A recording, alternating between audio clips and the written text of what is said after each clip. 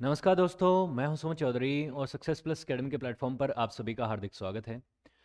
तो दोस्तों, आज के इस वीडियो में हम बात करने वाले हैं ancient Greek philosopher and poet Xenophanes of Colophon की बायोग्राफी एंड उनकी फिलोसॉफी के बारे में। एंशियंट ग्रीस जिसे हिंदी में हम यूनान के नाम से जानते हैं यहाँ के जो दार्शनिक हुए हैं, उनके बारे में हम पढ़ रहे थे, उनके बारे में हम काफ़ी कुछ ऑलरेडी पढ़ चुके हैं। कई सारे दार्शनिकों की बायोग्राफी एंड उनकी फ़िलोसॉफी का अध्ययन कर चुके हैं। तो उसी सीरीज़ का ये पार्ट है जेनोफनिस जो कि कैलफन से बिलोंग करते थे। और कैलफन कहाँ है, उसको समझने के लिए आपको एंशियंट ग्रीक सिटी स्टेट्स की जियोग्राफी को समझना पड़ेगा। तो ये 500 ईसा पूर्व का मैप है, जिसमें आपको एंशियंट सिटी स्टेट्स जो ग्रीस के थे यूनान के थे, वो आपको नज़र आ रहे हैं, जिसमें स्पार्टा एथेंस जैसे पॉपुलर सिटी स्टेट्स भी थे और काफ़ी सेवरल हंड्रेड सिटी स्टेट्स थे, छोटे, बड़े मिला के। इनमें एक छोटा सिटी स्टेट था जिसका नाम था कोलोफन यहाँ से बिलोंग करते थे जेनोफेनिस इनकी हम बारे में पढ़ने वाले हैं।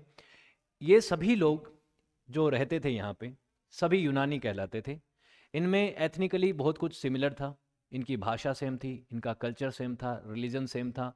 भले ही ये पॉलिटिकली एक दूसरे से अलग थे, यहाँ पे स्पार्टा का अलग राजा है एथेंस का अलग राजा है, यहाँ पे कैलोफोन का अलग राजा सेमोस का अलग राजा, माना। लेकिन फिर भी इनमें काफ़ी कुछ सिमिलरिटीज़ थी, इसीलिए इन सभी को मिला के संयुक्त रूप से यूनानी कहा जाता था या ग्रीक कहा जाता था। इनके बारे में हम ऑलरेडी बहुत कुछ पढ़ चुके हैं। जैसे इस वीडियो में मैंने आपको संपूर्ण इतिहास बताया था यूनान का, कि कैसे राइज एंड फॉल हुआ, कैसे यहाँ पे सभ्यता का उदय हुआ क्या इनका कल्चर था, कैसा ट्रेडिशन था, कैसी सोसाइटी थी, कैसे कैसे लोग रहते थे, यहाँ पे कौन कौन से प्रमुख राजा हुए, ये चीज़ें बताई। इस वीडियो में मैंने आपको बताया था इनके रिलीजन के बारे में। उसके अलावा हम बहुत सारे इनके फिलोसोफर्स की बायोग्राफी कवर कर चुके हैं, जैसे प्लेटो, सोक्रेटिस और एरिस्टोटल की जो तिगड़ी है, जिसमें आप जानते हैं कि सोक्रेटिस जो है, प्लेटो के गुरु थे, प्लेटो एरिस्टोटल के गुरु थे और एरिस्टोटल खुद अलेक्जेंडर द ग्रेट के गुरु थे। तो उनके बारे में हम पढ़ चुके हैं। महान मैथमेटिशियन पाइथागोरस और हीरोन के बारे में पढ़ चुके हैं, हेरोडोटस, और ऐसे ही तमाम बहुत सारे लोगों के बारे में पढ़ चुके हैं, जिसको आप इस प्ले लिस्ट में देख सकते हैं, जहाँ पे वीडियो आपको मिला है। ठीक है? अब एक चीज़ और होती है, एक कन्फ्यूज़न होता है जेनोफेनिस और जेनोफेन को लेकर, कि जेनोफेनिस और जेनोफेन दो लोग थे या एक लोग थे? जैसे नाम से ही आपको नज़र आ रहा है कि दो लोग थे, क्योंकि जेनोफेन जेनोफेन जैसा नाम लगता है, लेकिन जेनोफेन और जेनोफेनिस अलग नाम है और दोनों अलग अलग समय के व्यक्ति थे। इनकी फ़ील्ड भी अलग थी, अलग जगह पे भी पैदा हुए। एक थे जेनोफेनिस ऑफ़ कैलोफेन, जिनके बारे में हम पढ़ने वाले हैं। ये प्री सोक्रेटिस एरा के फिलोसोफर थे। फिलोसोफर के अलावा ये पोइट भी थे। उसके अलावा ये छठी और पांचवी शताब्दी ईसा पूर्व में इनका जन्म हुआ था। दूसरे हैं जेनोफन ऑफ़ एथेंस। ये एथेंस के थे, क्योंकि एथेंस साथ में आई रहे ये पांचवी और चौथी शताब्दी ईसा पूर्व के एक फिलोसोफर थे हिस्टोरियन थे और साथ में एक मिलिट्री लीडर भी थे। इनके बारे में बाद में कभी पढ़ेंगे, अभी हम फोकस करते हैं जेनोफेनिस ऑफ़ कैलोफन के बारे में और शुरुआत करते हैं इनके एक कोट से। इन्होंने कहा था कि pure truth no man has ever seen और नोर एवर शैल नो जो पूरा सच है अल्टीमेट ट्रूथ है। वो ना तो आज तक कोई देख पाया है और ना ही कभी कोई देख पाएगा। ये बात इन्होंने कही थी और इसका डिटेल वर्जन जो है वो मैं आपको बताऊँगा इनकी फिलोसॉफिकल एंगल्स को समझाते हुए कि इस बात को एक क्यों कहना चाहते थे। अभिज्ञवाद का जो सिद्धांत है जिसमें कि पूरी सच्चाई कोई नहीं जान सकता। हम सब अपना परसेप्शन डेवलप करते हैं अपने अपने एक्सपीरियंस और अपने जो जो थ्योरी ऑफ़ नॉलेज के माध्यम से जहाँ से हमारा नॉलेज हमें मिलता है, जिस तरह से हम चीज़ों को देखना शुरू करते हैं, उसी हिसाब से वो डेवलप होता है और हम अपना अपना सच जान पाते हैं। जो हमें लगता है सच है, लेकिन वो सच में सच है या नहीं, इसकी व्याख्या कोई नहीं कर सकता और ये कोई नहीं कह सकता कि वो सच है कि नहीं। तो हमेशा एक अभिज्ञवाद बना रहेगा और इन्होंने कहा था कि मोर्टल्स जो हैं, जो मर्तक हैं, जो एक दिन मर ही जाएँगे, जिनका अंत होना तय है, वो कभी भी पूरा सच नहीं जान पाएँगे। ठीक है? तो इमोर्टल कौन है? इनके हिसाब से ईश्वर। ईश्वर की परिकल्पना इन्होंने अपने हिसाब से ऐसे की थी कि वो इमोर्टल है। उसको इस तरह से नहीं देखा जा सकता, जैसे कि पुराने एंशियंट ग्रीक रिलीजन में लोग देखते थे। और वो बहुत इंपॉर्टेंट फिलोसॉफी है इनकी, जो इन्होंने रिलीजन के ऊपर इन्होंने कमेंट करे। वो काफ़ी इंपॉर्टेंट है, जिनकी वजह से इनको एक इंपॉर्टेंट थियोलॉजी माना जाता है, जिन्होंने थियोलॉजी के ऊपर कमेंट्स करे थे।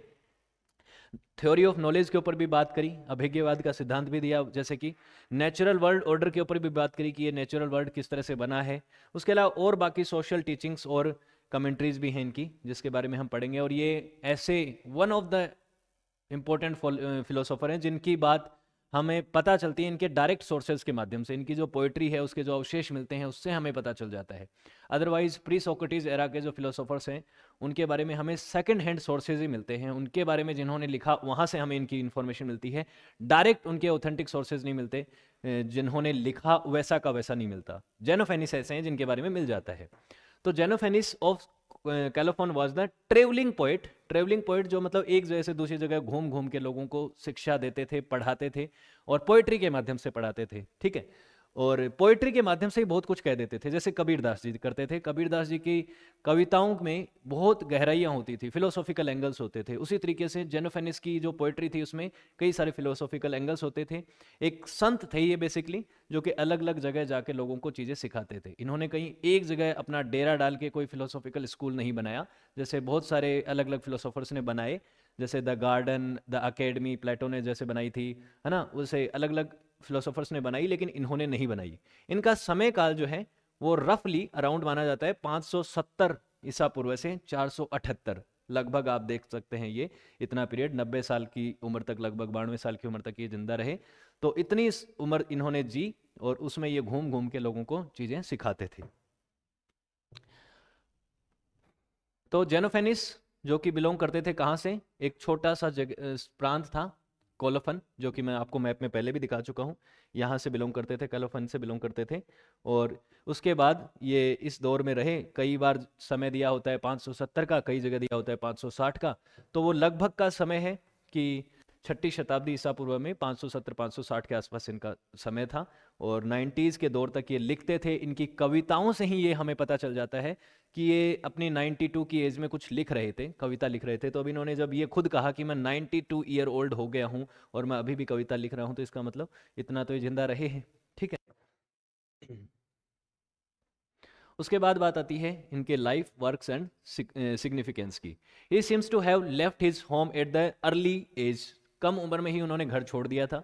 उसके बाद वो अपनी बाकी ज़िंदगी एक संत महात्मा और एक कवि के तौर पर बिताते हैं और अलग अलग जगह घूम के लोगों को ज्ञान देते हैं, सिखाते हैं। वो चीज़ें जो इन्होंने अपने एक्सपीरियंस से, अपनी लाइफ से सीखी हैं और दूसरे लोगों को पोइट्री के माध्यम से उन चीज़ों का मतलब समझाते हैं।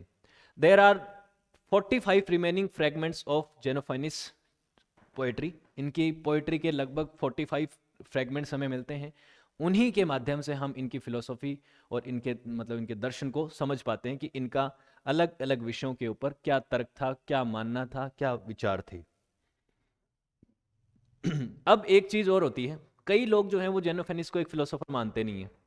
उनका मानना है कि इनको फिलोसॉफी के तराजू में रखना चाहिए या फिलोसॉफी के कैनन में रखना भी चाहिए या नहीं, इसके ऊपर जो है अलग अलग डिबेट्स हैं। कारण ये है कि कुछ लोगों का मानना है कि ये सिर्फ़ एक थियोलॉजियन थे और कुछ बातों के ऊपर इन्होंने कमेंट्री लिखी अलग अलग नेचुरल वर्ल्ड ऑर्डर को देखने की कोशिश करी, लेकिन उसके कोई सटीक इन्होंने व्याख्या नहीं दी, कोई अच्छा रेफरेंस नहीं दिया, कोई फिलोसॉफिकल एंगल नहीं दिया, कुछ गहरी बात नहीं कही उन बातों में। सिर्फ़ उस दौर में चली आ रही प्रथाओं के ऊपर इन्होंने कमेंट्री करी, उस सोशल ऑर्डर को क्रिटिसाइज किया, और कोई ए, बहुत गहरी बात नहीं कही ऐसी बातें कही लेकिन जब हम इनके बारे में पढ़ेंगे तो आप कहेंगे कि नहीं ऐसा तो नहीं है बहुत गहरी बातें भी कही हैं कुछ विषयों के ऊपर स्पेशली रिलीजन के ऊपर तो बहुत ही गहरी बातें कही हैं लेकिन उसकी वजह से इनको थियोलॉजियन कहा जाता है थियोलॉजियन फिलोसोफर एक तरह से देखा जाता है इनको। इरेशनल मिस्टिक भी कुछ लोग इनको कहते थे कि रहस्यमयी बातें कही हैं लेकिन रैशनल नहीं है मतलब चीज़ों के ऊपर न्याय संगत बातें नहीं करी हैं और अपनी बातों को पूरी तरह से समझा नहीं पाए। ठीक है एक और कारण ये भी है कि इनको सिग्निफिकेंट नहीं मानते कि इनके बाद के जो बड़े फिलोसोफर हुए प्लेटो और एरिस्टोटल जिनका बड़ा ओरा था ग्रीक सोसाइटी में, बड़ा नाम था इनका, इन्होंने इनको ज़्यादा रिकॉग्नाइजेशन दी नहीं, ज़्यादा इनके बारे में बातचीत की नहीं और ज़्यादा इनके बारे में लिखा नहीं और इनको एक तरह से उन्होंने इग्नोर किया, जिसकी वजह से बाकी ग्रीक सोसाइटी ने भी इनको कहीं ना कहीं इग्नोर किया। एक फिलोसोफर की तौर पे इनको उतनी पहचान नहीं मिली। इनकी जो राइटिंग्स हैं, उनमें आपको पोएट्री मिलेगी आर्ग्यूमेंटेशंस मिलेंगे, बहुत सारे आर्ग्यूमेंट्स मिलेंगे अलग अलग विषयों के ऊपर, ज्ञान के ऊपर की नॉलेज का जो सोर्स है अल्टीमेट ट्रूथ जो है, उसको कोई नहीं जान सकता, या रिलीजन के ऊपर बहुत सारी चीज़ें मिलेंगी। लेकिन कई जगह आपको लॉजिकल जस्टिफिकेशन नहीं मिलेगा लॉजिकल जस्टिफिकेशन जब नहीं मिलेगा तो वहाँ से कुछ ऐसी चीज़ें आपको देखने को मिलती हैं कि कुछ लोग ये तर्क दे देते हैं कि जब लॉजिकली आप किसी चीज़ को एक पूरे तरीके से एक्सप्लेन नहीं कर पाते तो आपको हम फिलोसॉफी के कैनन में नहीं रख सकते, एक फिलोसोफर नहीं मान सकते। लेकिन फिर भी जेनोफेनिस को डिसमिस नहीं किया जा सकता। उनकी बातों को तर्क मान के आगे चल के बहुत सारे फिलोसोफर्स ने एक तरह से उनके मन में सवाल आए, जिज्ञासा उत्पन्न हुई इनकी फिलोसॉफिकल ऑर्डर की वजह से। इन्होंने जो बातें कही उनसे। चाहे वो ईश्वर के स्वरूप के बारे में हो, चाहे ज्ञान मीमांसा के बारे में हो, चाहे स्केप्टिसिज्म के बारे में हो, कि संदेहवाद के बारे में बेसिकली तो उन चीज़ों के ऊपर जिस तरीके की बातें इन्होंने कही, भले ही ये एक लॉजिकल एंगल ना दे पाए हों, लेकिन फिलोसोफर्स को इन्होंने इतना इन्फ्लुएंस कर दिया कि वो उनके ऊपर एक तरह से डिटेल डिस्कशन कर पाए डिटेल में उसके ऊपर रिसर्च कर पाए और डिटेल में उसके बारे में कुछ कह पाए। ये उनको कहीं ना कहीं उस चीज़ के लिए मोटिवेट करते हैं और इन्फ्लुएंस करते हैं। तो ये चीज़ है कि भले ही इस चीज़ में उनको हर्डल का सामना करना पड़ा हो कि उनको कई लोगों ने फिलोसोफर नहीं माना, एक पोइट माना, एक मिस्टिक माना, या एक थियोलॉजियन माना, लेकिन फिर भी वो एक बड़े नाम थे ग्रीक सोसाइटी में, एक पोइट के तौर पे और एक टीचर के तौर पे। जेनोफेनिस भी जो है सोक्रेटिस की तरह सोशल क्रिटिक थे। सोसाइटी में जो कुछ चल रहा था उस दौर में पॉलिटिकली नहीं थे ये पॉलिटिकली क्रिटिसाइज नहीं करते थे समाज को उतने से, लेकिन सोशल ऑर्डर स्पेशली रिलीजन और बिलीफ्स के बारे में सोक्रेटिस का एक बहुत बड़ा दायरा था। वो पॉलिटिकली भी क्रिटिसाइज करते थे, समाज में जो ऑर्डर चल रहा था उसको भी करते थे ट्रेडिशन रिचुअल्स वगैरह को भी करते थे। तो सोक्रेटिस को तो आपको पता है कि मार दिया गया था, जहर का पहला पिला के, है ना? तो वो सोक्रेटिस थे। तो जेनोफेनिस उनसे पहले के थे और ये भी सोशल क्रिटिक थे और इनकी राइटिंग में आपको बहुत सी ऐसी चीज़ें मिलेंगी, जिसमें इन्होंने पब्लिक गैदरिंग में अलग अलग जगह ट्रेवल करके ग्रीक सोसाइटी में जो चल रहा ट्रेडिशन कल्चर है, उसको क्रिटिसाइज किया है स्पेशली रिलीजन को। और इन्होंने इवन ये तक कहा, देखिए, कि he he talks about the proper behaviour of at feasts proper behaviour होना चाहिए वर्च्यूज का आपको डिज़ायर फॉर वर्च्यूज गुणों, अच्छे गुणों के लिए आपको डिज़ायर करना चाहिए। इसके अलावा उन्होंने कहा कि moderate of drinking is okay moderate अगर ड्रिंकिंग करते हैं तो कोई दिक्कत नहीं है। थोड़ा बहुत पी सकते हैं, चल देगा। लेकिन उसके बाद आपको व्यवहार सही से करना है। व्यवहार अगर आप उसके बाद गलत करते हैं तो वो चीज़ ठीक नहीं है, वो नहीं चलेगी। आपको कुछ भी इन चीज़ों के साथ करके, थोड़ा बहुत अगर आप ये सब चीज़ें करते हैं, वो ठीक है, लेकिन उसके बाद अगर आप अपने गुणों को त्याग देते हैं और अगर आप गलत व्यवहार करते हैं, आप सोसाइटी के लिए गलत संदेश देते हैं तो वो चीज़ एक्सेप्टेबल नहीं होगी। इन्होंने अपने होमलैंड को भी क्रिटिसाइज़ किया कैनोफेन को। उन्होंने कहा कि जहाँ पे मैं रहता हूँ इस ग्रीक समाज में, यहाँ पे इक्वलिटी की बात नहीं होती है। यहाँ पे लोगों का जो, जिसको प्रेज करना चाहिए उसको प्रेज नहीं मिलता, जिसको रिवॉर्ड मिलना चाहिए उसको नहीं मिलता, बल्कि उन लोगों को मिलता है जो कि लेस डिजर्विंग है। फॉर एग्ज़ाम्पल इन्होंने कहा कि देखिए ऐसा है कि हमारा जो समाज है उसकी प्रायोरिटीज़ अलग हैं। यहाँ पे जब कोई स्पोर्ट्समैन कोई एथलीट कोई अच्छा गेम खेलता है और पार्टिसिपेट करता है तो उसको तो प्रेज किया जाता है। उसको रिवॉर्ड्स भी मिलते हैं। लेकिन कोई व्यक्ति जो कि फिलोसोफर है स्कॉलर है या पोएट है, वो अननोटिस चला जाता है। उसको किसी तरीके का कोई इनाम नहीं दिया जाता। उसके बारे में कोई बात नहीं करता। जबकि इन्होंने कहा कि जबकि सीधी सी बात है कि एक जो टीचर है, एक जो फिलोसोफर है, एक जो ज्ञानी व्यक्ति है, वो समाज में ज़्यादा भला कर रहा है और वो ज़्यादा समाज को एक तरह से, समाज में कंट्रीब्यूट कर रहा है, समाज की वेलबींग के लिए। लेकिन उसको कोई यहाँ पे सम्मान नहीं मिल रहा, उसको कोई प्रायोरिटाइज नहीं कर रहा बल्कि सिर्फ़ इन एथलीट्स को कर रहे हैं, जो कि फ़िज़िकल स्ट्रेंथ के नाम पे सारे अवार्ड ले जाते हैं और इनका उतना योगदान भी नहीं है। इन्होंने ऐसे चीज़ों को देखा ऐसे क्रिटिसाइज किया अपनी सिटी स्टेट्स को। उसके बाद इन्होंने कहा कि देखिए, सीधी बात है, इस सारे नज़रिए का सोशल कमेंट्री और क्रिटिसिज्म का उनका जो सार है, वो यही है कि आपको वेल बिहेवियर करना है मॉडरेशन रखना है मॉडरेट ड्रिंकिंग वगैरह भी चलेगी ओके है। लेकिन आपको किसी भी चीज़ का एक्सेसिव नहीं करना है। एक्सेसिवनेस के ऊपर उन्होंने कहा कि ये चीज़ एक्सेप्टेबल नहीं है। एक्सेसिवनेस ऑफ़ वेल्थ जो यहाँ के अमीर लोग थे, उनका जिस तरीके का नज़रिया था, जिस तरीके का एटीट्यूड था, वो इनको पसंद नहीं आया था। तो उसके ऊपर भी इन्होंने कमेंट किया था। उसके अलावा इन्होंने सोसाइटी के अंदर जो एथलीट्स को ज़्यादा प्रोत्साहन दिया जाता था, कवियों और स्कॉलर्स के कंपैरिजन में उसको क्रिटिसाइज़ किया कि उनको भी मिलना चाहिए, कवियों और स्कॉलर्स को भी मिलना चाहिए, उनको आप साइडलाइन नहीं कर सकते। जेनोफेनिस की जो सबसे इंपॉर्टेंट बात है और सबसे इंपॉर्टेंट फिलोसॉफिकल एंगल है, वो है रिलीजन के ऊपर। इनके रिलीजियस व्यू क्या थे, इसके बारे में बात करते हैं। तो जेनोफेनिस को आप देखा जाएगा कि ये one of the first Greek figure थे, जिन्होंने अलग अलग तरीके के थियोलॉजिकल असिस्टेंट्स दिए, जो उस समय का ग्रीक रिलीजन था, हेलेनिस्टिक रिलीजन, जिसके बारे में मैं आपको पढ़ा चुका हूँ, आप प्लेलिस्ट में जाके देख सकते हैं। Hellenistic religion by success plus academy आप सर्च करेंगे तो आपको पता चल जाएगा कि किस तरीके का रिलीजन था कौन कौन से देवताओं की पूजा करते थे कौन कौन से ट्रेडिशन, कल्चर ट्रेडिशन रिचुअल्स को ये लोग फॉलो करते थे। तो वो तमाम चीज़ें मैंने वहाँ पर डिस्कस करी हैं। तो वो जो रिलीजन था, जो कि एक पोलिथिस्टिक रिलीजन था, बहुत सारे देवताओं की पूजा करते थे, उसको इन्होंने क्रिटिसाइज किया है। बहुत भले ढंग से उन्होंने क्रिटिसाइज किया उसको।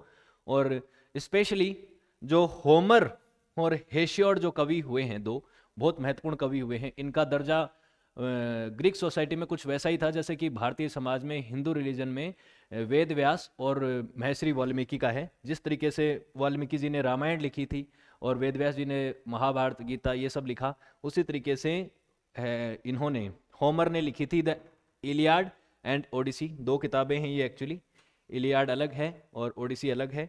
उसके अलावा ये जो एक और कवि हुए हैं हेशियड हेशियड ने थियोगोनी पे लिखी है किताब कि उनके देवताओं के ऊपर, उनकी किस तरीके से उनकी फैमिली ट्री वगैरह के ऊपर सब कुछ डिटेल में लिखा है उनके गुणों के बारे में, उनकी क्षमताओं के बारे में, उनके एक मतलब बेसिकली कौन सा देवता किस तरीके का है। तो अलग अलग देवताओं की बात होती है ग्रीक सोसाइटी में, जिसमें जियूस जियूस जो यहाँ के देवता हैं द गॉड ऑफ़ थंडर। इनको आप हिंदू कल्चर से कंपेयर करेंगे तो आपको ऐसा नज़र आएगा जैसे कि यहाँ पे इंद्र की बात हो रही है। है ना? उस तरीके से यहाँ पे अपोलो सूर्य देव जैसे कि इनके, उसके अलावा पोसाइडन, उसके अलावा एथेना देवता, देवियाँ बहुत सारे थे। और इनका स्वरूप भी देखिए कि ये स्वरूप कैसा है। एंथ्रोमॉर्फिक, यानी कि ह्यूमन जैसा, इंसान के जैसा फेस है, सारे देवताओं का, जैसे हिंदू कल्चर में भी होता है, आपको नज़र आएगा। तो इन्होंने क्या किया? इस चीज़ को क्रिटिसाइज किया कि इन देवताओं को आप इंसानी स्वरूप में कैसे दिखा सकते हैं और इनकी क्वालिटीज भी आप इंसानों जैसी कैसे दिखा सकते हैं। इस चीज़ पे इन्होंने क्वेश्चन किया। किनसे होमर से और हेसियोड से कहा कि ये, वो पहले के थे वैसे, वो मर चुके थे, लेकिन उनकी बातों को क्रिटिसाइज किया और कहा कि अगर आप देवताओं को अपने हिसाब से पोर्ट्रे करेंगे और उनको नेगेटिवली भी पोर्ट्रे करेंगे, क्योंकि होमर और हेशियोड ने कुछ इस तरह से पोर्ट्रे किया कि वो इंसानों जैसे तो दिखते ही हैं। उनको थोड़ा सा अलग कर दिया कि किसी के हाथ में मतलब यहाँ पे थंडर बोल्ट है, किसी के पास कुछ है, किसी के पास कुछ यंत्र है। उसके अलावा उनकी शक्ल, उनका बॉडी स्ट्रक्चर इंसानों जैसा है। उसके अलावा उनकी क्वालिटीज़ भी इंसानों जैसी हैं कि वो पावर के लिए लड़ते हैं। उनमें किसी में अच्छाइयाँ भी हैं, बुराइयाँ भी हैं डिसीव भी करते हैं वो। मतलब छल, कपट, सब तमाम तरीके की चीज़ें करते हैं। तो बेसिकली यहाँ पे देवताओं को इंसानों के जैसा पोर्ट्रे किया गया और ये बात जो है ये इनको अच्छी नहीं लगी जेनोफेनिस को, और इन्होंने इस चीज़ को क्रिटिसाइज किया कि आपने अपनी परिकल्पना के आधार पे देवताओं की परिकल्पना कर ली और कह दिया कि वो तो इंसानों जैसे ही दिखते हैं, उनके जैसे ही उनकी गुण हैं, क्षमताएँ हैं। क्षमताएँ भले ही ज़्यादा हैं, लेकिन उनकी प्रॉपर्टीज़ और क्वालिटीज़ कुछ वैसी ही हैं। ये बात इन्होंने कही और ये बात इन्होंने इसके लिए क्रिटिसाइज किया होमर वगैरह को। उन्होंने कहा कि ये जो आप एट्रीब्यूट कर रहे हो, जिस तरह से आप देवताओं को एक तरह से रिप्रेजेंट कर रहे हो, देवताओं का एक द्रौप, देवताओं की प्रस्तावना देख रहे हो कि देवता कुछ इस तरीके के नज़र आते हैं। ये गलत है, ये इमोरल है, क्योंकि इससे आप जो है इमोरल एक्शंस को भी प्रमोट करते हैं कि देवताओं ने ऐसा किया, क्योंकि देवताओं ने, देवताओं को कुछ इमोरल एक्टिविटीज़ करते हुए भी दिखाया गया है होमर की किताबों में या फिर हेसियोड की। तो वो कहा कि देवताओं को आप उस तरह से नहीं दिखा सकते, आपको उनको कंप्लीटली मॉरल दिखाना पड़ेगा, आप उनको ऐसा नहीं दिखा सकते जैसा कि आप दिखा रहे हैं। दूसरी बात, इंसानी स्वरूप में दिखाने से क्या दिक्कत थी? उन्होंने कहा कि देखिए, ऐसा है कि अगर आप दुनिया भर में अलग अलग कल्चर्स का अध्ययन करेंगे अलग अलग रिलीजन का अध्ययन करेंगे, सबकी अपनी अपनी धारणाएँ हैं। ईश्वर तो अगर है तो एक ही है अदरवाइज़ है नहीं। मतलब इन्होंने नहीं कहा नहीं है, लेकिन बेसिकली यह है कि अगर है ईश्वर तो एक ही है तो वो ईश्वर जो है, वो अलग तो नहीं हो सकता। कोई उसे इंसान जैसा बताता है, कोई उसे एनिमल जैसा बताता है, कहाँ कोई एक ईश्वरवाद की बात करता है, कोई बहुत सारे ईश्वर्स की बात करता है। तो ये जो डिफरेंट कल्चर में डिफरेंट तरीके के आइडियाज़ हैं ईश्वर के प्रति, देवताओं के प्रति, ये जो चीज़ें हैं, ये जो है गलत है, क्योंकि इसमें आदमी अपने अपने हिसाब से तर्क देता है और अपने आप को महान भी बताता है कि ये लोग क्या करते हैं कि जिस रिलीजन में मैं पैदा हुआ कोई भी आदमी ज़्यादातर लोग यही मानते हैं कि जिस रिलीजन में मैं पैदा हुआ, वही सबसे सुपीरियर है और वही सबसे अच्छा है, उससे अच्छा कुछ भी नहीं है। तो ये बात कहाँ से रैशनल हुई? इसमें तर्क कहाँ है? जस्ट बिकॉज़ आपने कह दिया, आपकी धारणा है कि मेरा रिलीजन सबसे बेस्ट है। तर्क क्या है उसमें? क्या दृष्टिकोण है आपका? क्योंकि हर कोई अपने आप को अगर बेस्ट बताने लग जाएगा तो उसकी तो कोई सीमा नहीं है।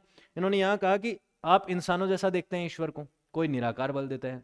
कोई बोलता है कि उसका इस तरीके का आकार है। जैसे इजिप्शियन रिलीजन में उनको एनिमल स्वरूप भी दिया गया था। हाँ तो उन्होंने कहा कि अगर कल को ये तो हम क्या हैं, इंसान सोच पाते हैं, परिकल्पना कर पाते हैं और किसी के बारे में थ्योरी दे देते हैं। अगर कल को घोड़ों को ये बोल दिया जाए कि आप बताओ कि ईश्वर कैसा दिखता है तो घोड़ा क्या कहेगा? मेरे जैसा ही दिखता है। बिल्ली क्या कहेगी? मेरा जैसा ही दिखता है। बैल क्या कहेगा? मेरे जैसा ही दिखता है। तो इस तरीके की बातें कही और उन्होंने सवाल उठाई कि ये जो आपने बिलीफ बना दिए हैं इनका आधार क्या है? आप उसमें मॉरलिटी कहाँ से तलाश करेंगे? स्पेशली अगर आप उस समय के ग्रीक रिलीजन की बात करें तो इस तरीके की जब किताबें लिखी गई और उसमें ये क्लेम कर दिया गया कि ये जो देवता हैं, वो आपस में लड़ते हैं, सत्ता के लिए लड़ते हैं, ये डिसीव करते हैं और तमाम इस तरीके की चीज़ें लिखी गई। तो उसके लिए यहाँ पे होमर को हेशियार्ड को और उस समय के थियोलॉजियंस को यहाँ पे क्रिटिसाइज किया जेनोफेनिस ने। तो इन चीज़ों के ऊपर उन्होंने कहा कि आपको सोचना पड़ेगा तर्कपूर्ण होना पड़ेगा। बिना तर्क के आप किसी भी चीज़ को ये नहीं कह सकते कि भाई ए, मेरा सुपीरियर है दूसरों का अच्छा नहीं है। तो ये subjective nature of the beliefs की बात जो है इसको उन्होंने हाईलाइट किया। ये तो विषय है अपने अपने सोचने का, कोई भी ऑब्जेक्टिव ट्रूथ नहीं है इसके बारे में कि ईश्वर ये ऐसा है, ऐसा दिखता है और ये ये उसमें क्वालिटीज़ हैं, ये ये उसमें कमियाँ हैं, ये कोई नहीं बता सकता क्योंकि हर अलग अलग रिलीजन का व्यक्ति, हर अलग कल्चर का व्यक्ति उसे अपने हिसाब से देखता है, अपने हिसाब से उसको महसूस करता है और अपने हिसाब से ही उसकी डिफिनेशन देता है। तो ये बात है। उसके बाद उन्होंने ग्रीक रिलीजन को क्रिटिसाइज करते हुए ये भी कहा कि people should avoid privileging their own religion and religious views over the others without good reasons कि अपने रिलीजन को सर्वश्रेष्ठ बताना और दूसरे वाले को कमज़ोर बताना, उसको क्रिटिसाइज करने को, लोगों को अवॉइड करना चाहिए, क्योंकि वो खुद भी नहीं जानते कि जिस चीज़ में वो बिलीव कर रहे हैं, वो सही है या गलत है, और उनके पास कोई इसका रीज़न भी नहीं है। हाँ मान लो एक रिलीजन ए है और इसमें कुछ इमोरल बातें कही गई हैं तो उसको क्रिटिसाइज कर सकता है कोई दूसरे रिलीजन बी वाला व्यक्ति। ठीक है, क्योंकि यहाँ पे उसके पास तर्क है। लेकिन अगर उसके पास तर्क नहीं है just because be was born in a religion किसी भी रिलीजन में पैदा हुआ और ये कहे कि मैं पैदा हो गया इस रिलीजन में तो मेरा वाला सर्वश्रेष्ठ है, तुम्हारा वाला कमज़ोर है, ये नहीं कह सकते, ये कोई तर्क नहीं है। तो इस तरीके की बातें उन्होंने कही। उन्होंने रीजनेबल रीजनेबिलिटी के ऊपर बात करी रैशनलिटी के ऊपर बात करी कि आपको अपने चीज़ों को समझने के लिए रीजनेबल होना पड़ेगा, तर्कपूर्ण होना पड़ेगा और जो बातें उसमें कही गई हैं, उसमें अगर कोई कमी आपको नज़र आती है तो आप उसके ऊपर क्वेश्चंस भी कर सकते हैं। सवाल करने में भी कोई दिक्कत नहीं है। तो ट्रेडिशनल बिलीफ्स को उन्होंने उस समय का जो ट्रेडिशनल बिलीफ चल रहा था ग्रीक सोसाइटी में, उसको क्रिटिसाइज किया अपने हिसाब से। तो उन्होंने ईश्वर की परिकल्पना किस तरह से की होगी? जब वो इस तरह से क्रिटिसाइज कर रहे हैं होमर को या हेसियड को तो लोगों ने उनसे भी पूछा होगा कि आपके हिसाब से ईश्वर कैसे हैं? फिर आप बता दीजिए। तो डिवाइन गॉडनेस के ऊपर उनके क्या तर्क थे, उसकी बात कर लेते हैं। Xenophanes argues that God should not be portrayed as doing immoral things ईश्वर को कभी भी इमोरल चीज़ें करते हुए नहीं दिखाना चाहिए। क्योंकि अगर ईश्वर, जिसे हम अपना आदर्श मानते हैं, ईश्वर को जो आदर्श मानते हैं लोग वो लोग अगर उसे ही इमोरल एक्टिविटी करते हुए देखेंगे तो वो कभी भी मोरल नहीं हो पाएँगे। और वो भी यही कहेंगे कि जब देवताओं ने ऐसी चीज़ें की तो हम कर रहे हैं तो उसमें क्या दिक्कत है, क्या हर्ज है?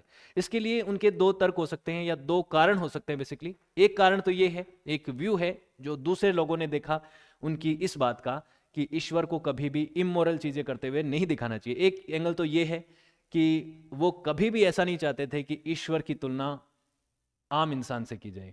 उसके गुणों के बारे में या फिर उसकी शक्ल सूरत के बारे में कभी भी उनसे जो है कंपैरिजन नहीं किया जाना चाहिए। चाहे वो अच्छी प्रॉपर्टीज़ हों, अच्छी क्वालिटीज़ हों, चाहे बुरी क्वालिटीज़ हों। लेकिन इससे कोई हमारे पास व्याख्या निकल के नहीं आती। ये तो एक ओपिनियन हो गया ना, कि नहीं रखो। इंसान जैसा दिखाओ ही मत। लेकिन ये तो एक रहस्य हो गया कि उनकी परिकल्पना क्या है। दूसरा ये इंटरप्रिटेशन निकल के आता है कि उनके हिसाब से ईश्वर की परिकल्पना एक परफेक्शनिस्ट के तौर पे होनी चाहिए, कि वो परफेक्ट है उसमें एक गुडनेस है और उसको, उसके जैसा बनना इंसान का गोल हो। और उसमें सारी अगर मॉरलिटीज़ होंगी और वो सबसे ऊपर दिखाया जाएगा, सर्वश्रेष्ठ दिखाया जाएगा तो लोग उसको फॉलो करेंगे। अगर उसमें इमोरलिटी दिखा दी, अनैतिकता दिखा दी तो वो गलत हो जाएगा और गलत संदेश जाएगा। ये बात उनकी है। हालाँकि इन चीज़ों को उन्होंने बहुत अच्छे से डिफाइन किया नहीं, क्योंकि मैं लास्ट में अभी बताऊँगा आपको और शुरू में भी बता चुका हूँ कि उन्होंने कहा कि मैं मेरा सच जान सकता हूँ और उसमें बिलीव कर सकता हूँ कि हाँ भाई, मुझे ऐसा लगता है। लेकिन वो अल्टीमेट ट्रूथ है, इसकी कोई गारंटी नहीं है और कोई जान ही नहीं सकता, उन्होंने कहा। कोई भी मॉर्टल जो भी जिसका अंत होने वाला है, जो भी नश्वर है, वो कोई प्राणी उसके बारे में जान ही नहीं सकता, पूरा सच। ये कह दिया था। तो अपने आप ही उन्होंने एक जो डिबेट है, उसको ओपन छोड़ दिया, खुला छोड़ दिया कि सब अपने अपने हिसाब से सोचो, लेकिन ऐसे मत सोचो कि मैंने, मैं सब कुछ जानता हूँ। इस भ्रम में मत रहो, इस जो है एरोगेंसी में मत रहो। Xenophanes' theological views are not entirely clear, leading to the various interpretation by scholars अलग अलग तरीके के इंटरप्रिटेशन हुए। किसी ने तो उनको कहा कि वो तो मोनोथिज्म को फॉलो करते थे। मोनोथिज्म का मतलब है एक ईश्वरवाद की धारणा को फॉलो करते। जैसे कि इस्लाम में होता है क्रिश्चियनिटी में होता है जोडाइज्म में होता है। तो मोनोथिज्म जो है उसको फॉलो करते थे। हालाँकि उस दौर में मोनोथिज्म था नहीं। तो बोला जाता है कि वो ऐसे पहले व्यक्ति थे उस सोसाइटी में जो कहते थे कि एक ही ईश्वर है, एक ईश्वरवाद की धारणा मानते थे। कुछ कहते हैं कि ये जो ओलंपियन पॉलिथीजम था, उसमें मानते थे ओलंपियन पॉलिथीजम मतलब उसी समय का ग्रीक रिलीजन, उसको मानते थे।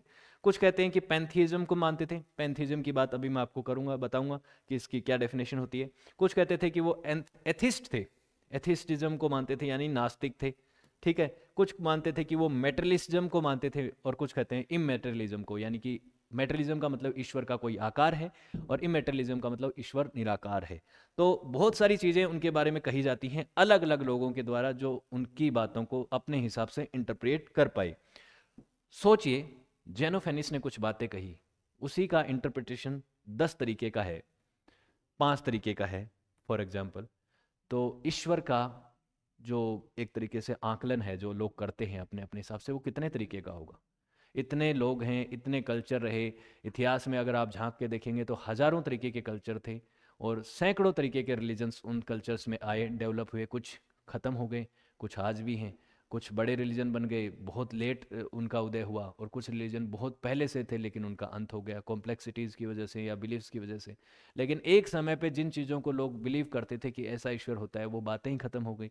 तो ईश्वर की जो परिकल्पना है उसको बहुत अलग अलग एंगल से देखा जाता है और इस बात की जो डिबेट है, उसको काफ़ी ओपन किया जेनोफेनिस ने इसके बारे में अभी हम बात करेंगे। सबसे पहला उन्होंने कहा, और उनके कुछ पोइट्री के फ्रेगमेंट्स हैं, उनको आप पढ़ेंगे तो उनकी बातों को बहुत हद तक आप समझ पाएँगे ये लाइनें देखिए। वन गॉड देखिए वन गॉड इज़ ग्रेटेस्ट एक ईश्वर सबसे महान है अमंग गॉड्स एंड मैन बाकी सभी देवताओं में। और सभी लोगों में, वो सबसे ऊपर है, सर्वोपरि है। Not at all like mortals वो बिल्कुल भी नश्वर जो लोगों जैसा नहीं है। मोर्टल्स जैसा कि हम ह्यूमन बींग्स हैं मोर्टल हैं, एक दिन मर जाएँगे, सभी एनिमल्स मर जाएँगे, पक्षी जितने पौधे हैं, वो सब एक दिन उनका अंत होना है तो वो मर्तक हैं, यानी कि वो नश्वर हैं। तो मोर्ट ये जो ईश्वर है, ये मोर्टल नहीं है, ये इमोर्टल है। बाई बॉडी एंड थॉट उसकी सोच भी नहीं मरती, उसकी बॉडी भी कभी उसका अंत नहीं होता। Whole he sees, whole he thinks and whole he hears. वो सब कुछ देख सकता है, सब कुछ सोच सकता है, सब कुछ देख, सुन भी सकता है। But completely without toil he shakes all things by the thought of his mind वो बिना हिले, बस अपनी सोच मात्र से ही पूरे ब्रह्मांड को हिला सकता है। ये बात उन्होंने कही। Always he abides in the same place place not moving at all वो हमेशा एक ही जगह पे स्थिर रहता है। वो बिल्कुल भी नहीं हिलता है। Nor is it seemingly for him to travel to different places at the different times उसे एक जगह से दूसरी जगह अलग अलग समय पे घूमने की ज़रूरत नहीं है, क्योंकि वो एक जगह से सबको चला सकता है तो उसे किसी तरीके की चीज़ों की ज़रूरत नहीं है। अब इन चीज़ों का, इन फ्रेगमेंट्स का अलग अलग लोगों ने क्या अर्थ लगाया और क्या इंटरप्रिटेशन निकाला, उसके बारे में बात करते हैं। सबसे पहला तो ये है कि भाई क्या जेनोफेनिस मोनोथिस्टिक थे? एक ईश्वरवादी थे, एक ईश्वर की धारणा में बिलीव करते थे। तो इसमें जो लाइन आती है, पहली लाइन जो थी one God is greatest among all gods and man कि एक ईश्वर सबसे ऊपर है सर्वोपरि है। यहाँ से कहीं ना कहीं इस सेंटेंस का मीनिंग जो है, कई लोगों ने लगाया कि मोनोथिज्म को बिलीव करने वाले व्यक्ति थे, क्योंकि यहाँ पे एक ईश्वर की बात की गई है। लेकिन बहुत सारे स्कॉलर्स ने इसको बाद में कहा कि देखिए, वो एक कवि आदमी थे। और कवि जो है, वो चीज़ों को पोइटिक वे में जब समझाता है तो वो चीज़ों का एकदम वैसा का वैसा नहीं कह, लिखता कि ठीक है, एक बराबर एक, दो बराबर दो, वो एक चीज़ को कहना चाहता है, ईश्वर कहना चाहता है तो वो जो है पोइटिक वे में एम्फेसाइज कर रहे हैं, ये वो एक ईश्वरवाद की धारणा को कहीं एम्फेसाइज नहीं कर रहे हैं, क्योंकि आगे एक बात और भी इसके तर्क में कही गई कि देखिए, जब जब उन्होंने होमर को क्रिटिसाइज किया था, जब होमर के बारे में उन्होंने कहा कि जब होमर ने देवताओं को इस मानवीय स्वरूप में दिखाया, उनकी शक्ल, सूरत, बॉडी शेप वैसी दिखाई और उनके अंदर गुण भी हैं, वैसे ही दिखाए अच्छा या बुराइयाँ दिखाई तो उन्होंने कहा कि देखिए, उन्होंने होमर को क्रिटिसाइज किया उस चीज़ के लिए। कभी भी उन्होंने ये नहीं कहा कि भाई, होमर, तू बहुत सारे देवताओं की बात क्यों कर रहा है? देवता तो एक ही है, ईश्वर तो एक ही है। कभी भी उन्होंने नंबर ऑफ़ गॉड्स के बारे में क्रिटिसाइज किया ही नहीं। तो अगर वो एक ईश्वरवादी होते तो होमर को इस बात के लिए क्रिटिसाइज करते हैं कि ईश्वर तो एक ही है, बहुत सारे नहीं है। जिस तरह से तुम एथेना जियोस पोसाइडन इनकी बात कर रहे हो, इनका कोई एग्जिस्टेंस नहीं है, एक ईश्वर है। तो ये सिंगल गॉड की जो बात है बेसिकली कि जेनोफेनिस एक ईश्वरवाद को मानते थे या नहीं मानते थे, इस, ये बात काफ़ी कॉम्प्लेक्स है और इस बात को हम पूरी तरह से क्लियर कर नहीं सकते, क्योंकि कहीं पे भी उन्होंने क्लियरली ये नहीं कहा कि मैं एक ईश्वरवाद की धारणा में मानता हूँ और मैं बहुत सारी ईश्वर की धारणा में नहीं मानता कि बहुत सारे देवता होते हैं। बस उन्होंने एक बात लिख दी थी कि one god is greatest of among all the gods and man ठीक है? उसके अलावा many source have labelled Xenophanes as a monotheist of some even saying he was the first to advocate the radical form of monotheism पहले वो व्यक्ति थे जो कि रेडिकल फॉर्म ऑफ़ मोनोथिज्म को फॉलो करते थे और उसको एडवोकेट करते थे और उन्होंने कहा one God is pure spirit and entirely separate from the world एक ईश्वर जो है बाकी सारे संसार से अलग है। इस चीज़, तरीके की बातें कही। एक व्यक्ति थे जोनाथन बैन बाँस उन्होंने इस चीज़ को ज़्यादा एडवोकेट किया और कहा कि जेनोफेनिस जो है वो प्रायरी मोनोथिस्ट थे। प्रायरी मोनोथिस्ट यानी कि जो एक ईश्वरवाद के धारणाएँ जब जन्म भी नहीं लिया था जब, उस समय के वो व्यक्ति थे जो मोनोथिज्म को मानते थे। बाद में तो मोनोथिज्म के कई सारे कॉन्सेप्ट आ गए अलग अलग जगहों पे मोनोथिज्म को फॉलो किया ही जाता था। अब्राहमिक रिलीजन्स आए, उन्होंने मोनोथिज्म की धारणा को काफ़ी पॉपुलर किया। ठीक है। फिर दूसरा बात आता है, दूसरा सवाल जो आता है वो आता है कि was Xenophanes an immaterialistic immaterialistic या मेटलिस्टिक क्या होता है? मेटलिस्टिक वो जो कि ईश्वर को आकार देता है। चाहे मानवीय आकार दे दीजिए, चाहे एनिमल आकार दे दीजिए, या किसी भी तरीके का आकार दे दीजिए। लेकिन अगर कोई व्यक्ति कहता है कि ईश्वर निराकार है तो वो क्या हो गया? इमेटेरियलिस्ट हो गया। तो क्या जेनोफेनिस इमेटेरियलिस्ट थे? तो उनकी लाइन देखिए, जो लाइन मैंने उस समय आपको पढ़ के सुनाई थी। God is different from human both in body and thought ये उन्होंने कहा था। कि जो गॉड है, वो ह्यूमंस से, बॉडी और थॉट से अलग है। लेकिन इसमें यह कहीं पता नहीं चल रहा कि उसकी बॉडी है या नहीं है। Some ancient interpretation thought this meant God lack of body कुछ ने इसका ये तर्क लगाया कि उसकी कोई वो आकार है ही नहीं। वो ईश्वर जो है, उसके पास बॉडी स्ट्रक्चर नहीं है, वो निराकार है। इंटायरली इनकॉपरल है। ठीक है? लेकिन इस तरीके की बात यहाँ पे उन्होंने कही नहीं। उन्होंने ये नहीं कहा कि ईश्वर जो है, वो मानव जैसा दिखेगा या एनिमल जैसा दिखेगा। क्या पता वो कैसा दिखता है, हमें कैसे पता? हमने तो देखा नहीं, हमने साक्षात्कार नहीं किए उनके। तो साक्षात्कार ईश्वर के हमने नहीं किए तो हम कैसे पता बता सकते हैं? इस बात पे जेनोफेनिस ने इस बात को ओपन छोड़ा था। डिबेट को खुला छोड़ा था कि आप अपने अपने हिसाब से परिकल्पना कर सकते हैं कि ईश्वर जो है वो ऐसा नज़र आएगा। लेकिन आप के लिए वो ऐसा ईश्वर नज़र आ रहा है, किसी दूसरे के लिए वो ईश्वर किसी और तरीके का भी नज़र आ सकता है। ठीक है? तो आप ये मत मानिए कि आपने जो चीज़ सोची है वो पूरी तरह से अल्टीमेटली ट्रूथ है। वो सच है कि ईश्वर ऐसा ही नज़र आएगा, ईश्वर ऐसा ही है। वो बात गलत हो जाएगी। उन्होंने ओपन छोड़ दिया कि अपने अपने हिसाब से मान सकते हैं, लेकिन ईश्वर को मानव स्वरूप देना, उसकी जैसे गुण बताना, ये गलत गलत है इमोरल है, क्योंकि उसके बाद लोग जो हैं उनको मॉरली फॉलो नहीं कर पाएँगे। वो सोचेंगे वो तो हमारे जैसा ही है, वो तो गलत चीज़ें भी करता है, अच्छी चीज़ें भी करता है तो हम क्या फॉलो करें उसमें? ठीक है?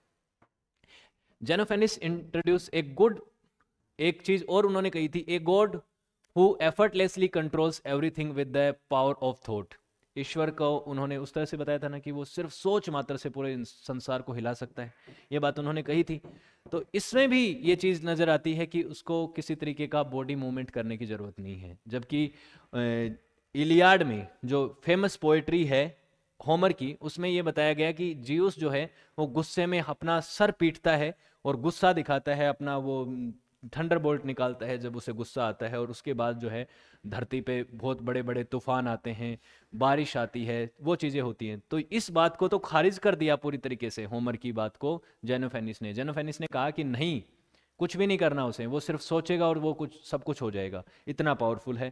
तो जेनोफेनिस की ये जो सोच है, इसमें वो हो सकता है इमेटेरियलिस्टिक हो। वो खुद इमेटेरियलिस्टिक हो, लेकिन वो ये नहीं कह रहा कि मैं इमेटेरियलिस्टिक हूँ तो तुम सबको इमेटेरियलिस्ट तुम भी हो जाओ और तुम भी इमेटेरियलिस्टिक तरीके से ही ईश्वर को सोचो। कि उन्होंने यही तो कहा था कि open the debate is always open हर कोई अपने अपने हिसाब से सोचता है। तो ये चीज़ है कि इस चीज़ को भी कॉम्प्लिकेट ये भी कॉम्प्लेक्स है बात कि जेनोफेनिस इमेटलिस्टिक थे या नहीं थे। इसीलिए तो हम ये बात कर रहे हैं कि अगर हमें पक्का ही पता होता है कि मेटलिस्टिक थे या मोनोथिस्टिक थे तो सीधा उसी तर्क पे पहुँच जाते। इसीलिए अलग अलग लोगों ने अलग अलग व्याख्या की। किसी ने मोनोथिस्टिक कहा, किसी ने इमेटलिस्टिक कहा, किसी ने मेटलिस्टिक कहा और किसी ने कहा कि ओलंपियन गॉड्स को मानते थे। और कोई कहता है कि पैंथियस्टिक थे पैंथिस्ट थे। पैंथिस्ट का क्या मतलब होता है? सबसे पहले तो आपको पता होना चाहिए कि पैंथिस्ट क्या होते हैं। बहुत तरीके के रिलीजन होते हैं। मोनोथिस्टिक पैंथिस्ट पॉलीथिस्टिक और एनिमिस्टिक इस तरीके के रिलीजन होते हैं। कभी इसके बारे में बात करेंगे कि टाइप्स ऑफ़ रिलीजन के बारे में तब मैं आपको बताऊँगा। तो पैंथिज्म रिलीजन का वो प्रकार है जिसमें पैंथिस्ट लोग ये मानते हैं कि कण कण में भगवान है। ईश्वर जो है यूनिवर्स में पूरी तरीके से समाहित है। धरती और इस पूरे आकाश में जितनी चीज़ें आपको नज़र आती हैं, उस हर चीज़ में ईश्वर है। और ईश्वर को सेपरेटली एक किसी भी आकार में पूजने की ज़रूरत नहीं है। अगर आप उसकी पूजा करना चाहते हैं तो हर चीज़ का सम्मान कीजिए, हर चीज़ को ही पूजिए, क्योंकि यूनिवर्स ही गॉड है, गॉड ही यूनिवर्स है, वाइस वर्षा ये बात मानते हैं पैंथिस्ट। तो पैंथिज्म को मानने वाले थे क्या यहाँ पे? कौन? जेनोफेनिस तो गॉड और ईश्वर को गॉड और यूनिवर्स को अलग तरीके से देखने वाले जो थीज्म को मानने वाले लोग होते हैं, और पैंथिज्म वो होता है जिसमें गॉड इक्वल टू यूनिवर्स होता है, ठीक है? तो ये बात ध्यान रखना है आपको। वॉज़ जेनोफेनिस ए पैंथिस्ट सवाल वापस वही आता है। तो some scholar have suggested that Xenophanes believe god to be spherical and identical with the universe forming a pantheistic view point क्योंकि उन्होंने जिस तरीके से यूनिवर्सली उसको बताया कि वो स्पेरिकल है स्पेरिकल बताया, उन्होंने आकलन किया है लोगों ने कि उन, उनकी जो तर्क है, उससे हम इस नतीजे पे पहुँचते हैं कि गॉड को वो स्पेरिकल देखते हैं और वो यूनिवर्स की तरह देखते हैं कि वो यूनिवर्स जो है, वही तो सब कुछ, वहीं से तो कंट्रोल होता है। तो वही सबसे ताकतवर है और वहीं से सब चीज़ें होती हैं, आप जानते हैं। तो ये एक पैंथिस्टिक व्यू पॉइंट है और सम स्कॉलर जो हैं एंशंट उन्होंने ये कह दिया कि attribute this idea to him describe god is spherical eternal and motionless entity motionless entity है। Universal universe as a whole उन्होंने देखा कि वो एक मोशनलेस एंटिटी है। तो उसी को ईश्वर इन्होंने माना है जेनोफेनिस ने।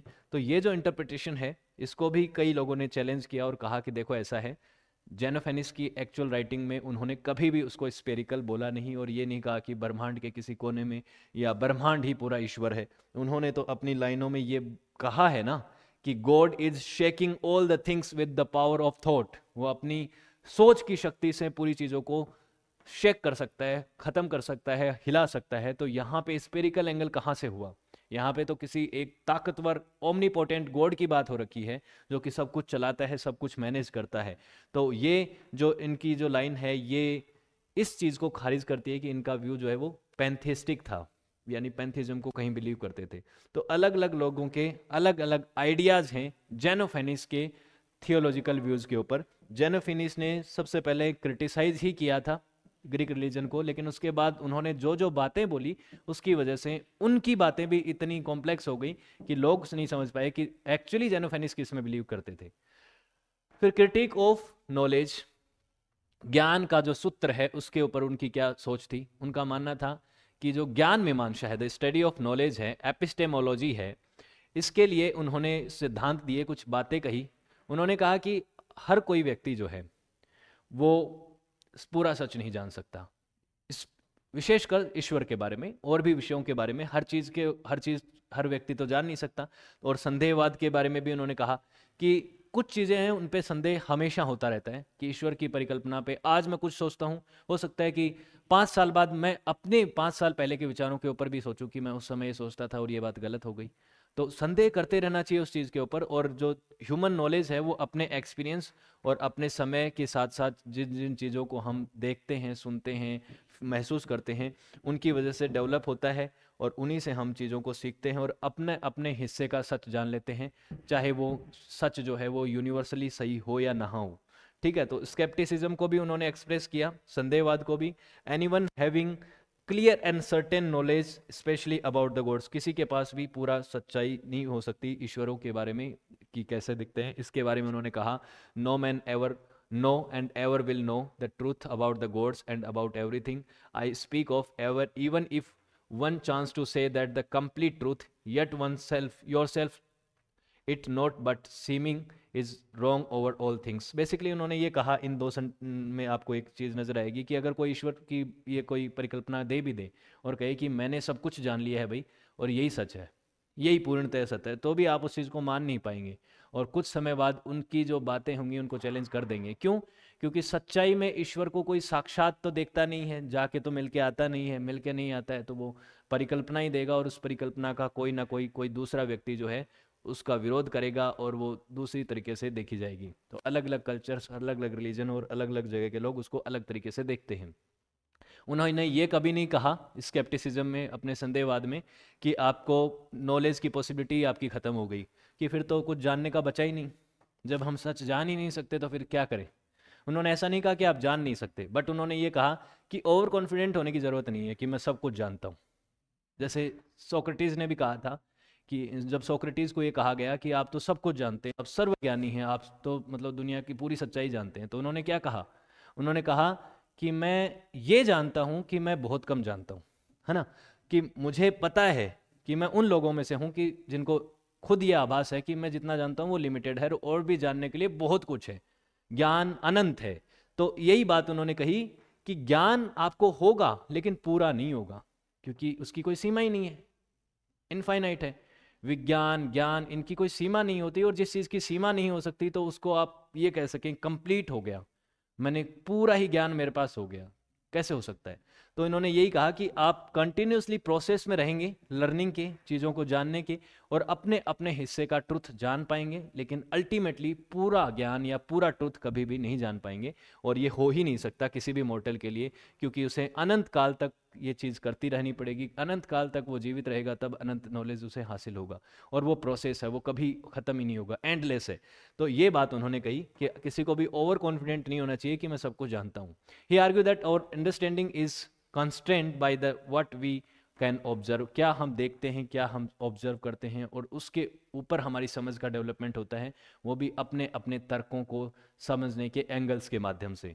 हमारे जो सेंसेस हैं फाइव सेंसेस देखना, सुनना चीज़ों को स्पर्श से, चीज़ें को करना, स्पर्श करने से, ये सब चीज़ों से हमें जो है, हमारे सेंसेशंस के माध्यम से और हमारे चीज़ों के ऊपर, हमारे तर्कों के माध्यम से हमारा ज्ञान डेवलप होता है। Xenophanes urges humility to our opinions humility दिखानी चाहिए हमें। जब भी हम किसी को ओपिनियन दें तो हमें उसमें थोड़ा सा सोच समझ के देना चाहिए। ह्यूमन बहुत ही ज़्यादा पोलाइट होना चाहिए। और कभी भी ये नहीं कहना चाहिए कि मैं जो कह रहा हूँ, वही सही है। हमेशा कि आप किसी को ओवर कॉन्फिडेंट होके, किसी को पूरी तरह से खारिज कर दें किसी की बात को तो वो गलत है। क्योंकि उसका अपना ओपिनियन रहता है, अपनी सोच रहती है। और उसका अपना नज़रिया होता है। तो इन्होंने कहा कि जब भी आप किसी को ओपिनियन दें तो आप हम्बल होके दें ओवर कॉन्फिडेंट या ईगोइस्टिक होके ना दें। और उसके अलावा, इन्होंने अर्थ वाटर एंड फंडामेंटल्स के ऊपर भी बात करी। अर्थ एंड वाटर को इन्होंने फंडामेंटल माना। एंशंट जो फिलोसोफर्स थे स्पेशली मिलेटस के, जिनको मिलेशियंस कहा जाता था, जैसे कि थेल्स जो कि फ़र्स्ट ग्रीक फिलोसोफर माने जाते हैं हिस्ट्री के, उनको एनक्सामिनेस एनक्सामाइंडर्स इन लोगों ने अलग अलग तर्क दिए। किसी ने कहा कि भाई देखिए, सब चीज़ें जो हैं, जैसे थेल्स ने कहा, सब कुछ पानी से बना है। द मूल क्या है? जो की एलिमेंट्स है, जो बेसिक एलिमेंट है, वो वाटर है। एनाक्सीमेनिस ने कहा कि हवा से बना है सब कुछ। हेराक्लेटिस ने कहा कि फायर से बना है। जेनोफेनिस ने कहा कि अर्थ और वाटर से बना है। और यहाँ पे एक और व्यक्ति थे जिसका नाम है, क्या नाम है? एनेक्सेमेंडर। इन्होंने कहा कि एप्रियन नाम के एक कण से बना है। भारत में पंच तत्व का सिद्धांत था। पंच तत्व क्या है? फायर एयर आकाश अर्थ यानी कि मिट्टी और वाटर इन पाँच तत्वों से सब कुछ बना है। ये पुराना सिद्धांत है पंच तत्व का। इनमें से आकाश को अगर छोड़ दिया जाए तो चार पॉइंट बने। चार चीज़ें बनी। इन चार चीज़ों के बारे में किसने कहा था? एरिस्टोटल ने कहा था कि चार, इन चार चीज़ों से सब कुछ बना है। तो अलग अलग लोगों की अलग अलग व्याख्याएँ थी, उनमें से एक व्यक्ति थे आपके जेनोफेनिस इन्होंने कहा कि सब कुछ जो है, दुनिया की सारी चीज़ें जो हैं, उनका मूल कर्ण अर्थ और वाटर है। या तो कुछ सूखा होता है या गीला होता है, उसके अलावा फायर की इन्होंने बात करी कि देखिए जो ऑल थिंग्स हैं, वो तो बनी है किससे? All things come into existence with and grow with the earth and water सारी चीज़ें पानी और अर्थ से ही बनी है। हालाँकि कोई डिटेल व्याख्या इसकी वो दे नहीं पाई जैसे कि हेराक्लेटियस ने अपनी फायर के सिद्धांत में बहुत डिटेल में बातें करी थी। ये इतना डिटेल में कर नहीं पाई। हालाँकि हेराक्लेटियस को इन्होंने कुछ चीज़ों में इन्फ्लुएंस किया। फॉर एग्ज़ाम्पल इन्होंने एक बात कही थी कि देखिए अभी मैं दिखाऊँगा आपको। इन्होंने कहा था कि जो ये है फॉसिल्स वगैरह बनते हैं और जो सन का बनना है, सूरज का जो बनना है, उसके ऊपर जो इन्होंने बात कही थी कि सन जो है आपको मिलाई दूँगा मैं, अभी दिखाई देता हूँ कहाँ पे है ये बात। Sun is form per daily either from ignite clouds जो क्लाउड्स जो हैं वो जलते हैं, उसकी वजह से सन जो है वो रेगुलरली बनता है, बड़ा होता जाता है, और the piece of fiery earth इसके बारे में कहा कि फायर की वजह से अर्थ ये जो है आपका सन बनता है। उस समय की एंशियंट धारणा थी ये उनके हिसाब से, जिसकी वजह से हेराक्लेटिस भी जो है इससे प्रभावित हुए और हेराक्लेटिस की जो फिलोसॉफी है वो इसकी वजह से डेवलप भी हुई आगे चल के। और माना जाता है कि जेनोफेनिस की बात ने, जेनोफेनिस की इस सिद्धांत ने हेराक्लेटिस के आइडियाज़ को कहीं ना कहीं शेप दिया और उनको प्रभावित किया। तो ये बात उन्होंने अर्थ और जो वाटर के फंडामेंटल के तौर पे उन्होंने कही थी।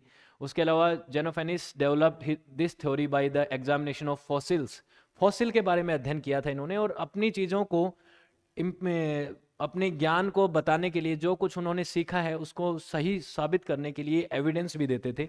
फॉसिल का अध्ययन किया, उससे उन्होंने को क्या, किस नतीजे पे वो पहुँचे, इस तरीके की बातें उन्होंने कही थी। One of the first person थे वो उस दौर के जो ये चीज़ करते थे। प्री सोक्रेटिस एरा में वो फॉसिल्स को इकट्ठा करके उनके बारे में अध्ययन करते थे कि ये फॉसिल कितना पुराना है, किसका है और ह्यूमन और जो एनिमल्स हैं उनका इवोल्यूशन कैसे हुआ, ये सब चीज़ें ये जानने की कोशिश करते थे। लेकिन बहुत डिटेल में इनके बारे में हमें इंफॉर्मेशन नहीं मिलती कि जेनोफेनिस इनसे कौन कौन से बड़े नतीजों पर पहुँच पाए। Xenophanes was just proposing conclusion सिर्फ़ कंक्लूजन नहीं पहुँचा देते थे। क्योंकि कंक्लूजन पे सीधा अगर ये पहुँच जाते तो इन्हीं का सिद्धांत गलत हो जाता, जिसमें ये लगता कि ये बता रहे हैं, अपना सच और उसमें और कॉन्फिडेंट हो रहे हैं। तो इसलिए ये क्या करते थे? चीज़ों को सही साबित करने के लिए एग्ज़ाम्पल देते थे और बेसिकली उनके एविडेंस भी देते थे।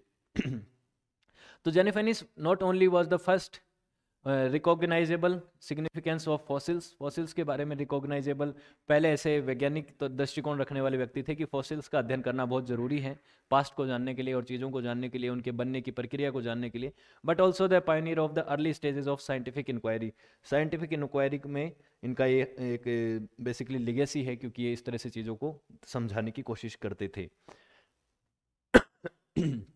सॉरी उसके बाद हेवनली फिनोमिनाज को समझाने का भी इनका यही एंगल था। जैसे कि सन को समझाने का इनका था ना कि जलते हुए बादलों की वजह से सूरज बनता है, या फिर फेरी अर्थ की फिनोमिना की वजह से बनता है। उसी तरीके से इन्होंने रेनबो स्टार्स और अलग अलग तरीके की चीज़ों को समझाने के लिए फायर का जो है कॉन्सेप्ट समझाने की कोशिश करी कि fire as a product of clouds को समझाने की इन्होंने कोशिश करी कि सभी क्लाउड्स जो है वो उनसे फायर से वो जलते हैं और उसकी वजह से सन और स्टार्स वगैरह बनते हैं। उसके अलावा इन्होंने रेनबो के भी बनने की प्रक्रिया को बताया कि नेचुरल फिनोमिना है जब क्लाउड्स जो हैं clouds like purple red green yellow originating from clouds दूसरे क्लाउड्स हैं जब अलग अलग कलर के क्लाउड्स ओरिजिनेट होते हैं, तब ये जो है इंद्रधनुष बनता है, जिसमें आपको पता है कि ये सात रंग होते हैं। साइंटिफिकली ये बातें करेक्ट नहीं है, इसलिए इसके ऊपर मैं कोई ज़्यादा ज़ोर नहीं दे रहा हूँ कि इस पे जेनोफेनिस क्या ज़्यादा डिटेल में कहते थे।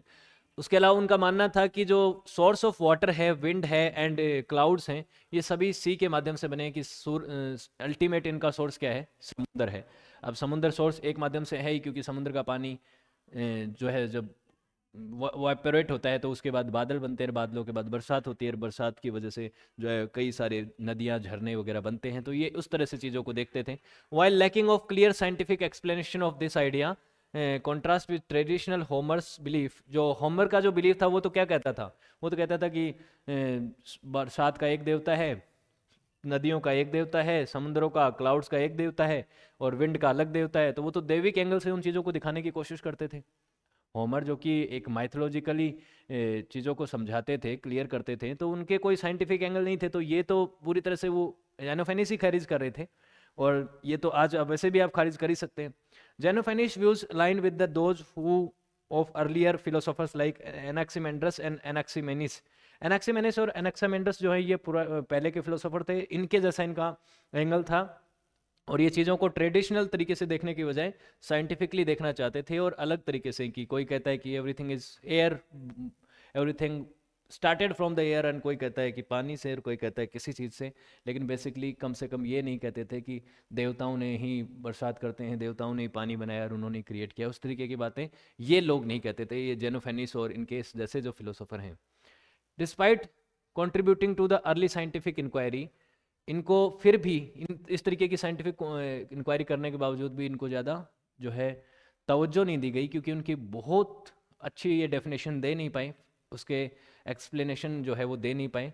तो बेसिकली आप कह सकते हैं Xenophanes question traditional belief beliefs के बारे में उन्होंने क्वेश्चन किया कि आप जिस तरीके के रिलीजन रिलीजियस एंगल से हर चीज़ को समझाते हैं, उसके बारे में इन्होंने सवाल किया।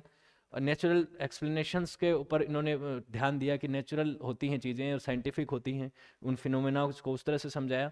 But hid his ideas were not fully appreciated by later influential figures like Plato, Aristotle, इन लोगों ने उनको अप्रिशिएट नहीं किया। उन्होंने कहा कि ठीक है, उन्होंने एक धारणा दी है, लोगों को क्रिटिसाइज किया लेकिन अपनी जो फिलोसॉफी है और अपना जो साइंटिफिक एंगल है, उसको वो पूरी तरह से प्रूव नहीं कर पाई।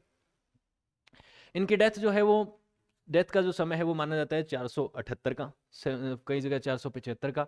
तो 475 478 बीसीई में इनकी डेथ हो गई थी। तो तकरीबन आप देख सकते हैं कि 570 से 578 यानी नब्बे बानवे साल तक ज़िंदा रहे ये। और उस दौर में इनकी डेथ हो गई। किस सर्कमस्टेंसेस में हुई, ये पता नहीं चलता कि किस तरह से उनकी डेथ हुई है, कौन सी चीज़ों की वजह से इसके बारे में हिस्टोरिक रिकॉर्ड्स मिलते नहीं हैं। लेगेसी और इन्फ्लुएंस के बारे में बात करें तो ये इंपॉर्टेंट है।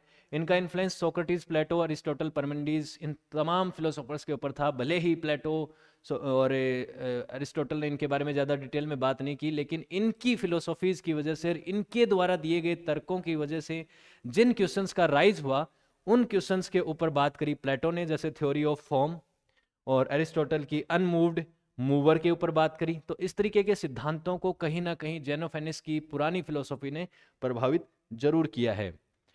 While Plato and Aristotle develop their own theories इन्होंने अपनी थ्योरी डेवलप की। ऐसा नहीं है कि उन्होंने जेनोफेनिस को कहीं आधार बनाया है, लेकिन उन्होंने उन सवालों को समझा। किसी चीज़ का जवाब होने से पहले आपको सवाल मिलना चाहिए। तो सवाल होगा तभी तो जवाब मिलेगा। तो वो सवाल जो है कहीं ना कहीं जेनोफेनिस छोड़ के गए थे और उनकी जो समझ थी, ह्यूमन अंडरस्टैंडिंग को लेकर, चीज़ों को लेकर, स्पेशली रिलीजन के लेकर, वो काफ़ी पॉपुलर हुई और काफ़ी उसके बारे में बात होती है। Xenophanes didn't assert that the objective truth of his view. उन्होंने कभी भी ऐसा नहीं कहा कि मैंने जो कह दिया वही परम सत्य है। About, but consider that the them the more valid than the belief and the his contemporaries उन्होंने ये ज़रूर कहा कि जो मैं बात कर रहा हूँ, मेरे हिसाब से बाकी ये होमर हेसियाड जैसी बातें कर रहे हैं, इनसे तो मैं ज़्यादा सही कह रहा हूँ। मैं, हो सकता है गलत हूँ, लेकिन इनसे सही हूँ मैं।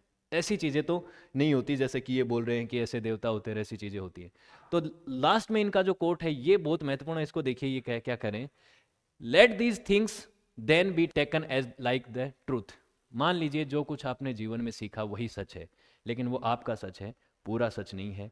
Only the one god know the truth जो ईश्वर है, वही परम सत्य जानता है।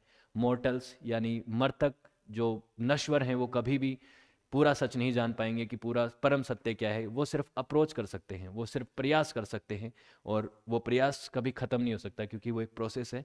Different people and different cultures will interpret the ultimate truth differently हर जगह के लोग, हर कल्चर के लोग, हर रिलीजन के लोग अल्टीमेट ट्रूथ को अपने अपने हिसाब से इंटरप्रिएट करते हैं। But the add but these in the end are simply reflection of the truth which they only see it वो सिर्फ़ एक रिफ्लेक्शन है, जैसा कि वो अपने आप में उस सिद्धांत को देखते हैं, उस सच को देखते हैं और उसे मानते हैं।